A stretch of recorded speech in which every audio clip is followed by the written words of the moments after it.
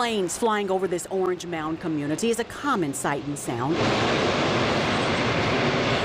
So too is the sound of gunfire, some say. I can't hardly sleep at night with that going. When I wake up in the morning, it's doing something boom, boom, boom, boom, boom. For the past 24 years, Ron Robertson has called the area home. Police responded just before midnight to Buntyn and Douglas, where a man was gunned down, unable to survive his injuries. Crime scene tape went up, with some keeping their guard up as well in order to dodge danger. Every day.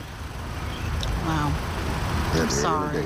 Yeah. Here's what we found searching the city's data hub. When it comes to assaults, homicides, robberies, and weapon offenses, each dot represents someone's loved one. From May of last year to present day, police have responded within a half mile radius of the overnight attack 266 times. The area has since cleared. However, what remains are medical supplies as well as blood smeared in the street, which we are being extremely careful not to show. These are just some of the reminders of what happened overnight. As police work to bring to light the gunman, neighbors are working on ways to bring the community together. It's a sign saying police neighborhood watch. Adding it's not enough to simply have the sign on display. Involvement must happen. In an effort, Mr. Robertson says to see an end to what he feels is soaring crime. They ain't gonna stop till somebody do something about it. For your news leader in Orange Mound, Jarita Patterson, WREG, News Channel 3.